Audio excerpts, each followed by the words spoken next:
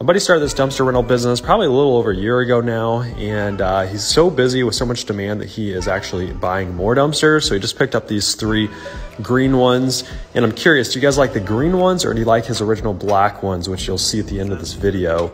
Um, if you want to see his video on picking these up and also follow along on his journey, make sure you check out his uh, his channel. And I'll also uh, link the YouTube video that we made about this whole thing, link to my bios. So here is the old dumpsters. Which do you like better? Let me know.